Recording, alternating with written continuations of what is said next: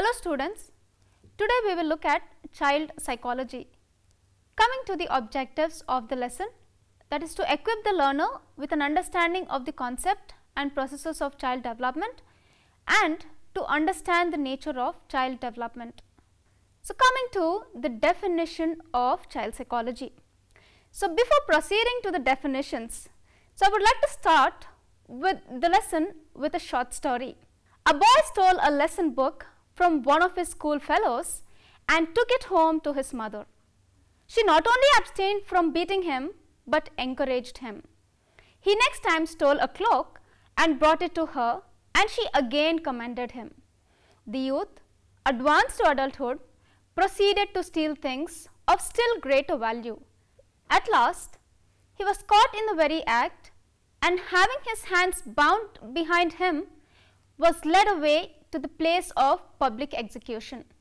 His mother followed in the crowd and violently beat her breast in sorrow, whereupon the young man said, I wish to say something to my mother in her ear. She came close to him and he quickly seized her ear with his teeth and bit it off. The mother upbraided him as an unnatural child, whereon he replied, Ah, if you had beaten me when I first stole and bought to you the lesson book, I should not have come to this nor have been thus led to a disgraceful death. Had his mother reprimanded him, he would not have been in this situation. Likewise goes this saying, it is easier to build a sapling than a tree. In Telugu it means Mokkai Vanganidi Manai Vanguna. Teaching a child at an early age and correcting them is very important. And so, childhood becomes a very important period in one's life. Psychologists say that first 5 years of a child are very important. It is more like a blueprint of their life. What a child learns, what a child observes and what a child hears is the same thing he will do as an adult. So, with this we look at what child psychology and child development is all about. Child development or child psychology as a field is defined as a branch of knowledge concerned with both the nature of development and regulation of significant structural and behavioral changes occurring in children as they advance in age and maturity.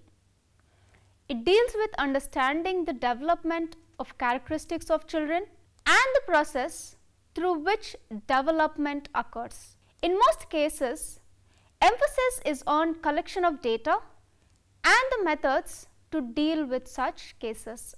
According to Crow and Crow, child psychology is a scientific study of the individual from his prenatal beginnings that is care taken by the mother before the birth of the child through the early stages of his adolescent development.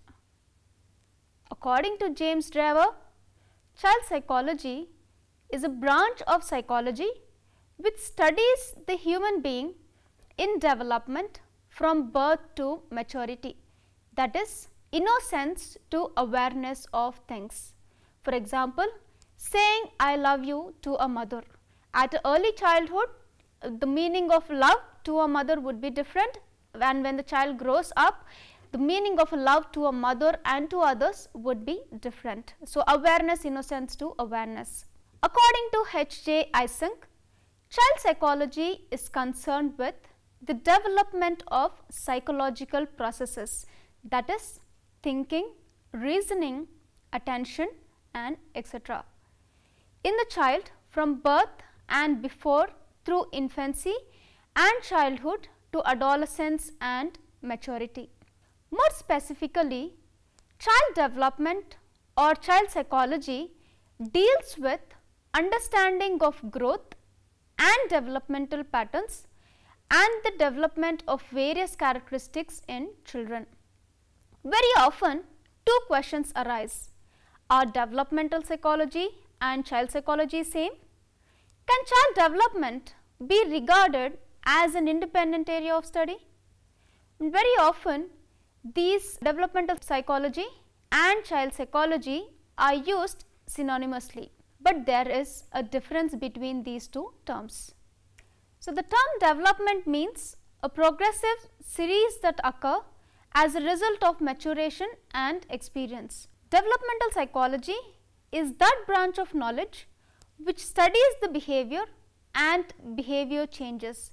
That is behavior is temper tantrum and behavior change is no temper tantrum at a later stage or more temper tantrum at a later stage that occur during the entire lifespan that is from conception to death. And child development on the other hand deals with growth and development of characteristics up to the age of 14 years. It is considered as an independent science as it is concerned with interpreting and predicting individual development. It is also concerned with child guidance and counseling of children. According to Van den Daele, development implies qualitative change, which means that development does not consist merely by adding inches to one's height or of improving one's ability, but moving from one stage to another. For example, going from crawling to walking. Initial studies concentrated on the specific areas of child behavior such as speech, emotions, play interests and activities. It was centered around preschool and school age children and so the name child psychology came into existence. As studying different areas of child behavior at different age levels had become a challenge, the term was changed from child psychology to child development, which focuses on the patterns of child than on certain aspects in development. And so, child development is broad than child psychology. There are four ways in which child development differs from child psychology. Let us look at those four areas. Coming to the first one, child development focuses on the processes itself, whereas child psychology focuses more on the content or products of development. And next child development places more emphasis on the roles played by environment and experience than child psychology does. And the next difference, child psychology focuses on different areas of child behavior, whereas child development focuses on the changes in appearance and behavior and under what conditions these changes occur, how these changes influence child's behavior, how these changes can be predicted and to find out if these changes are individual or characteristic for all children. So, moving to the next difference. Child psychology focuses on preschool and school age children whereas child development focuses from conception to pubescent children. Uh, these are the four differences uh, when we look at child psychology and child development. Now, we look at the nature of child psychology. The concept of development presupposes that there is continuity in development. This continuity is lawful and is observed between successive stages of an ongoing process and that properties of earlier phase contributes to the properties of subsequent phase. These changes are progressive, both the heredity predisposition and environmental facilities contribute to the process of change. There is also reciprocal change between organism and the environment. Child psychologists observe, describe, measure and relate phenomena as they occur naturally in uncontrived situations.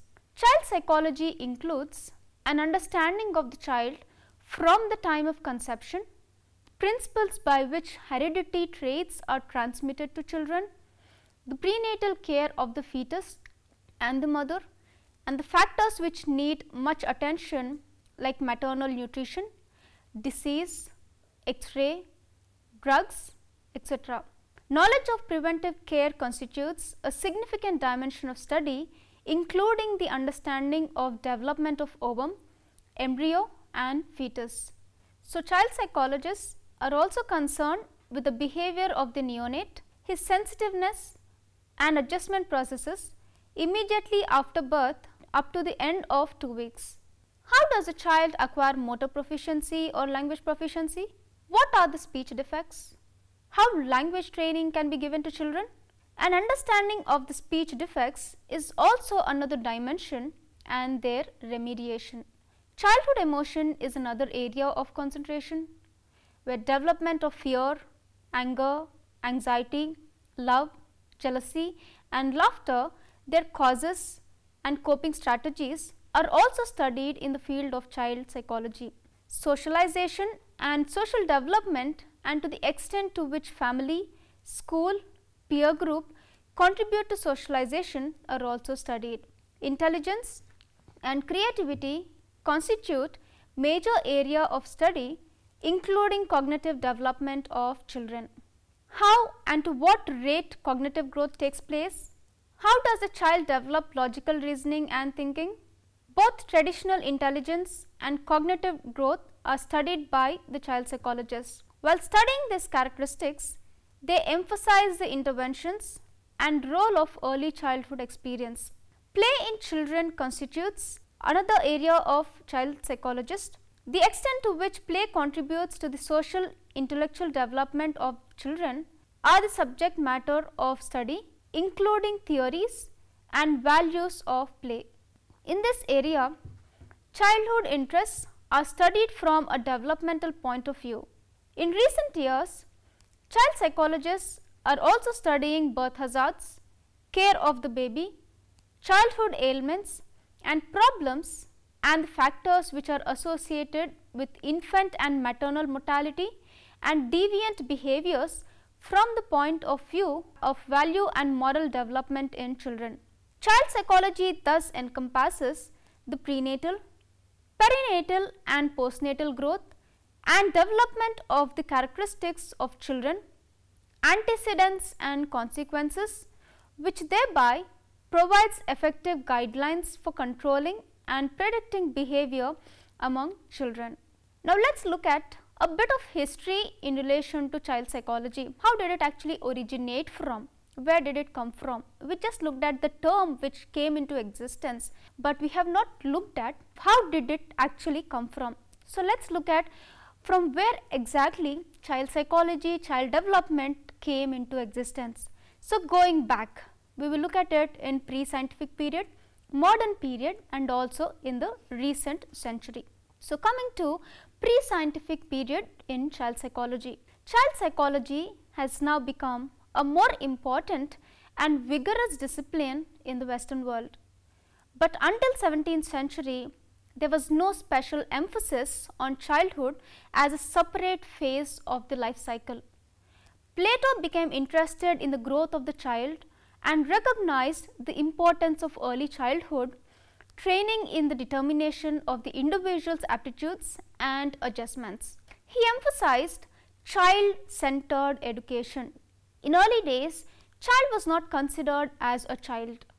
He was regarded just as some living organism in transition.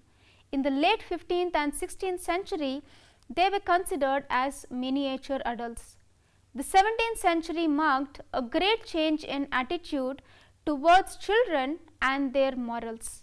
Parents and teachers considered children as more lively and delicate organisms. In the Greek period, the child was seen as future citizen and as a member of family. A conception that spare the rod, spoil the child was in practice then. An opposite view was gradually practiced by British and other contemporary philosophers. John Locke, the British philosopher, viewed child's experience and education as determinants to development. Rousseau, French philosopher, believed that child is endowed with an innate moral sense.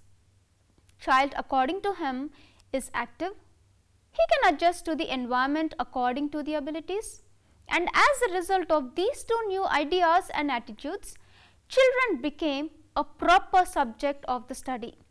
Pestalozzi, like Rousseau, emphasized the innate goodness of the child and the role of his own activity in his development.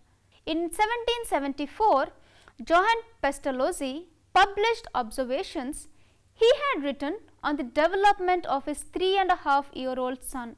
For the first time, an account of sensory, motor, language and intellectual development of the infant up to 2.5 years of age was published by Tiedemann in 1787 who happened to be his own son. And for centuries, concern had been expressed for the education and proper upbringing of children starting with infancy. Some influential works in 18th and 19th century were John Locke's thoughts concerning education in the year 1693, Jean Jacques Rousseau's Emile in the year 1762, Johann Pestalozzi's How Gertrude Teaches Her Children in the year 1801 and Froebel's Education of Man in the year 1826. In the 19th century, the works of Charles Darwin on origin of species stimulated greater interest in the study of the child. Quite in line with evolutionary process, series ontogenetic stages were also conceived in the development of the child. With Darwin, child became a part of the scientific endeavor. Darwin suggested that by observing the development of infant, one could catch a glimpse of the development of the species itself. His own notes on his infant son also drew attention to a newly emerging method of child study. In the year 1840, Charles Darwin started a journal on the development of his son in 1877, almost a hundred years after Pestalozzi's 1777 publication. Baby biography became an important method of child study since then. Wilhelm Preyer, who is a physiologist, contributed more to baby biographies. Based on the observations on his son's mental development in the first year, Preyer wrote about development of reflexes and influence of learning and experience on development of behavior. In his book, The Mind of the Child is considered as the greatest classic in the field of child development. Systematic study of children began towards the end of the 19th century by Stanley Hall in the United States of America. He was influenced by the idea that child is a developing organism in accordance with certain sequential stages. He devised a questionnaire method to collect data about children. He collected written responses to questionnaires from both parent and children and the papers were published in the year 1882 and in the year 1883. Stanley Hall observed the relationships between the child's personality, characteristics and background experience in United States and he is considered as the forerunner of modern psychological tests. In the year 1883, Dr. Hall wrote a book entitled The Content of Children's Minds, an early scientific study of the child. Hall became the president of Clark University in the year 1889 and made it a famous center for child study. One of his student John Dewey advocated educational reforms within a moment known as progressive education. Arnold Gesell was another student who became a pediatrician and established the norms of development of children from early childhood. When we look at Gesell, he has also developed a test called GDT. GDT stands for Gesell Drawing Test. It's where you have a child is given with 0 triangle with different shapes and based on that a child is tested for his intellectual development. Then another student Lewis Terman became a leader in the area of mental testing who later on developed the intelligence quotient as a standard index of intellectual ability. And the French scholar Binet also devised intelligence test to measure IQ in children although it remained until the year 1808 and in the year 1911 for the revised versions to appear. In rejecting introspection, Watson made infants and children legitimate subjects for psychological experiments. During the 1920s and the year 1930s, many psychologists got interested in child psychology. Intelligence, learning, language and thinking processes etc., were studied with sophisticated methods. Many of the studies during this G. Stanley Hall period were normative. Studying of individual differences became prominent. Normative data gathering was more in focus. Lawrence Frank, a young economist, also gave a vigorous push to the scientific study of the child. In the year 1920s, he became in charge of the Spelman Rockefeller Memorial Child Development Grants and under this grant a Child Study Institute was established in the year 1924 at the University of Columbia followed by Minnesota and California at Berkeley in addition to the Gesell Clinic of Child Development at Yale and Iowa Child Welfare Station.